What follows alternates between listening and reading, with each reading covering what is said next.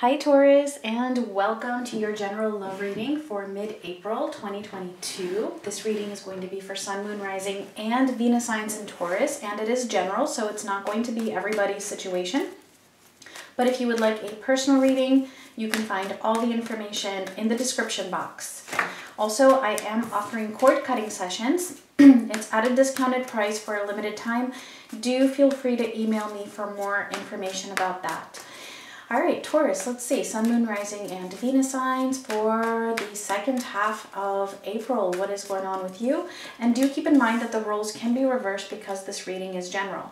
All right, so starting off your reading, we have two aces. Wow, okay, so the Ace of Cups crossed by the Ace of Wands. So there is a lot of love here um, between you and another person. But the challenge is to actually bring this back together. So yes, with the Ace of Wands, I feel like this is a connection from the past.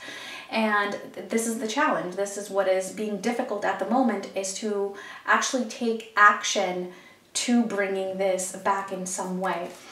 Um, let's see for you. We have the Death card. All right, Scorpio. Some of you might be dealing with the Scorpio. Um, the Seven of Cups and Strength. All right, that's Leo. So some of you might be dealing with a Leo as well, or you might have these signs in your chart. Um, wow, all right, Taurus. There's there's an ending here that you are processing or are trying to process, but there might be some confusion um, surrounding that or, you know, just surrounding this ending overall. Not really knowing how to go about it, how to think about it, how to feel about it, or what options to take. I feel like you're really being called to have strength at the moment, knowing that things will work out for the best. And I do see you moving in that direction of having the courage and the strength to face whatever this ending is.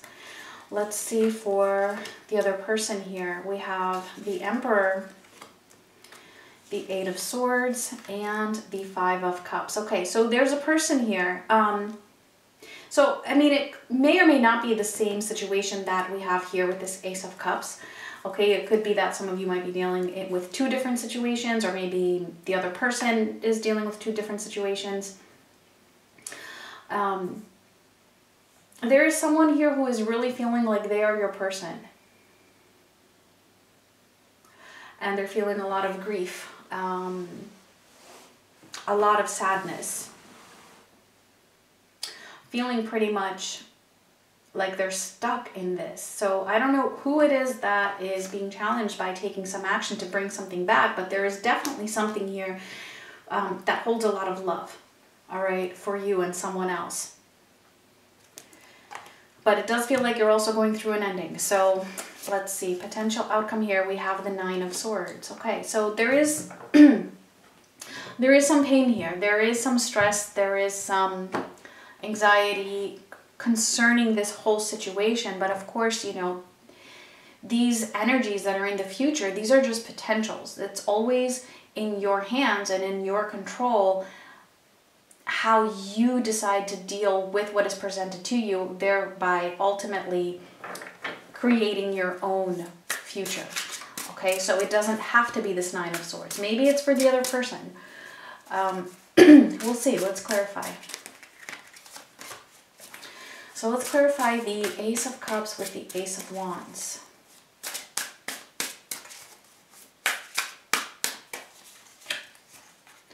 All right, and we have the Five of Cups showing up again. And the Emperor showing up again. Wow, okay. So both of these cards showed up in, in the other person's energy. So yeah, it could be that they are the ones who are having a hard time taking some action here um, towards you. And at the same time, you're going through this ending. Oh, usually I get one more here. so yeah, I'm pulling one more and it is the Empress. Wow, so the Emperor and the Empress both showing up here. Um, yeah, there's definitely somebody here that where you have a very deep spiritual connection. It's like the two of you both feel like you are meant for for one another. But there's a lot of sadness attached attached to this, possibly something from the past that is creating a lot of grief. This could be why you're going through this, feeling this ending and really not knowing what to think about it unless this is referring to to something else. Um, because I definitely feel like there is somebody here where, yeah, there's a lot of love. It's just that for whatever reason, this has not been able to come back together, okay? If there has been some kind of a break or some kind of a split. Let's see. Let's clarify death for your energy.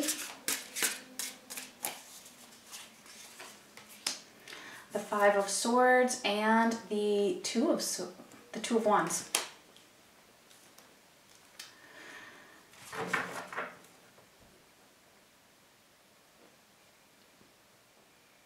So you're like, there's an ending here that you are either procrastinating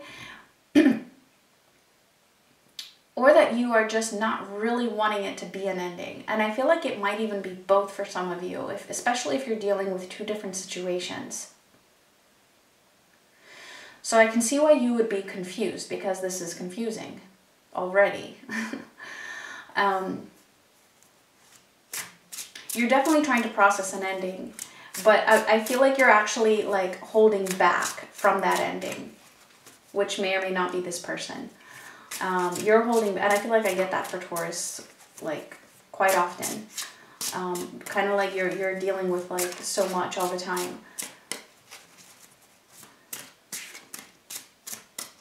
So it could even be that you're just kind of um,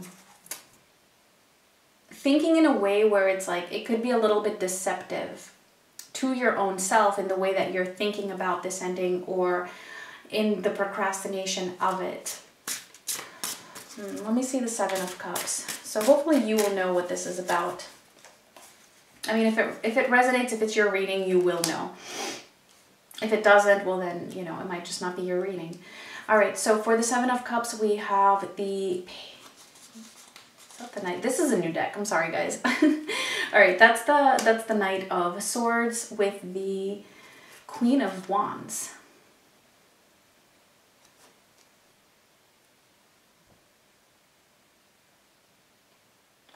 It's like you're really trying to figure out what it what it is that is in alignment with you. That's what you are confused about. Like what is it exactly that is for you? What is it that speaks your truth? And so because of that, I feel like there's a lot of restlessness in your energy. Like, you know, it's like what the hell is going on here? Like you want what is best for you. You want what you feel is going to be, you know, like not just what you deserve, but like what you feel is yours. That's how this is coming in. But there's confusion around that. Almost like what you feel is what you would want and what you desire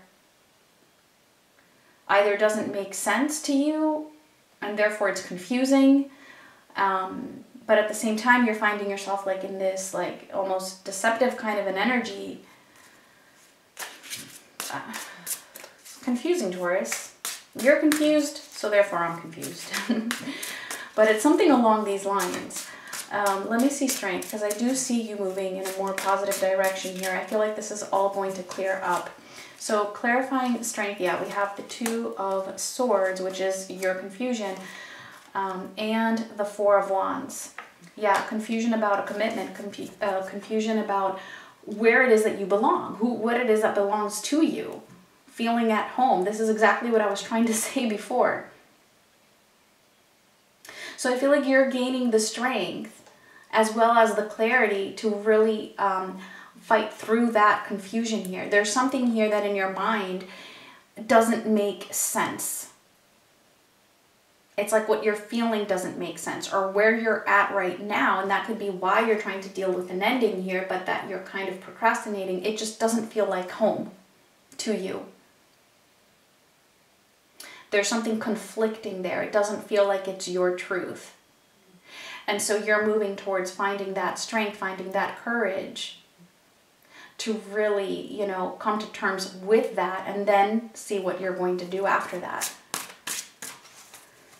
Whew. All right, Taurus. Again, roles can be reversed. let's see this other person's energy here. Let's see the Emperor.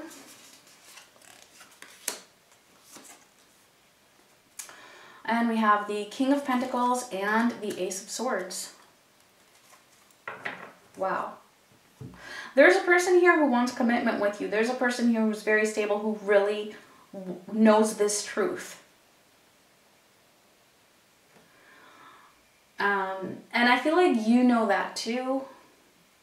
Maybe it's a difficult situation. Maybe it's somebody that, you know, um, maybe it's because of them, right? That, that the two of you cannot bring this back together. Maybe it's something that completely depends on them and not on you for some of you. You know, that's, so that's understandable.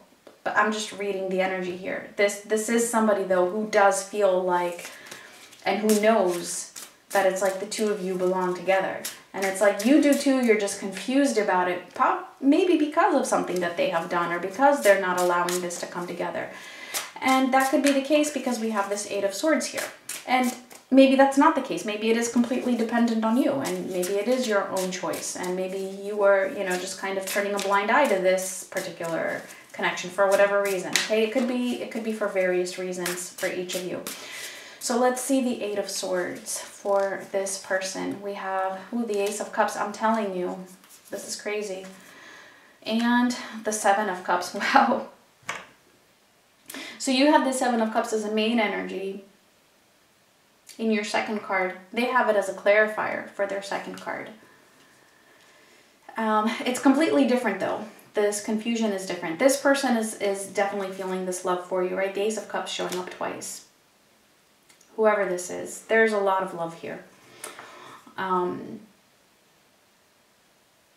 and this person feels trapped in some way, in something. There's a lot of overanalyzing, thinking about all of this a lot.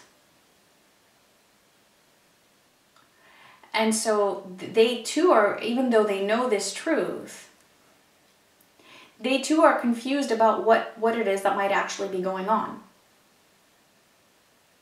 I feel like they, they don't know what's going on with you, to be honest.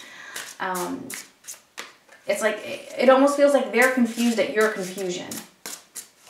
They're confused at you being confused. Let's see this Five of Cups.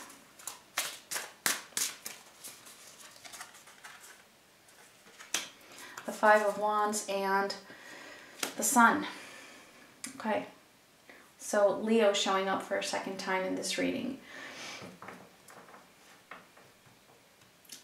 Whatever it is that's happening here, this person is feeling a lot of sadness, right? We have the Five of Cups showing up twice. We have the Ace of Cups showing up twice. I mean, we just have so many cards showing up twice. We have the Emperor showing up twice. We have the Seven of Cups showing up twice. like, wow. Um, there's a lot of conflict here for this person. It could even be that they are up against some external um, energies as well, having to face resistance outside of the connection for some of them. But for the most part, I feel like they're just very very conflicted with what it is that is going on because they they feel like they belong with you Um, but there seems to be a lot of confusion on your side about it. And so there's there's a lot of grief here. I feel like this person is actually depressed.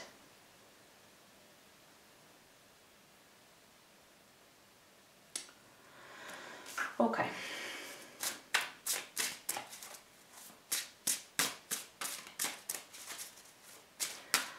Let's see the Nine of Swords for the potential outcome and just any message that Spirit wants to give you about that. Eight of Cups, I mean, and that Eight of Cups fell out on its own, um, whereas I'm pulling from the top. All right, so Eight of Cups, the Tower, and the Seven of Pentacles yeah, this is totally in your control. It does not have to be this Nine of Swords. I mean, I definitely feel like this person is in this kind of an energy um, because they, they don't have this connection. So they're like grieving this loss. Um, so what I feel like the message for you is is this Eight of Cups is to walk away from whatever it is that is not serving you. Maybe it's this person. Okay, then walk away from it. That's not how I feel about it. That from just based off the cards that I see here. Um, but walk away from whatever it is that you feel is not serving you. Because there it like i said in the beginning there is some kind of a self-deception happening here that some kind of an ending that you might be procrastinating for something. And it doesn't have to be like a situation like work or you know another commitment or you know i mean it could just be something within your own self like putting an end to a certain behavior or to a certain way of thinking or to a certain fear. It's going to be different for each of you but I feel like there might be a little bit of procrastination for that. And I mean, that's okay. That's okay. You know, just take the messages slowly and, you know, as you feel is right for you, if this resonates for you. Again, could be the other way around.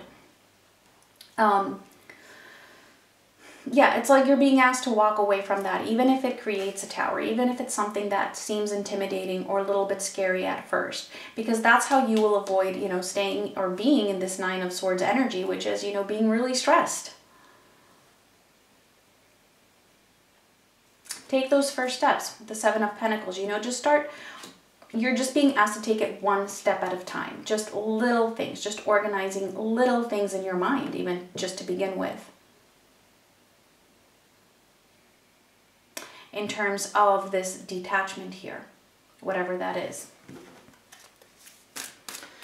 All right, Taurus, let's see. Final message for you if this resonated. And we have narrow pathway, tread thoughtfully. Yeah, because I feel like, I mean, it's very interesting that we got this card. Because it's, it's so similar to this last message here. Tread thoughtfully, you know? Um, the pathway is a little narrow here. If you stay in the same energy, it's like it's just leading up to more of the same the same energy. So something here is being asked of you to, to shift. So, um, you will find your way. You will find your way. You have strength here. You will find your way, is what I'm getting. All right, Taurus, those are your messages. I thank you so much for watching and much love.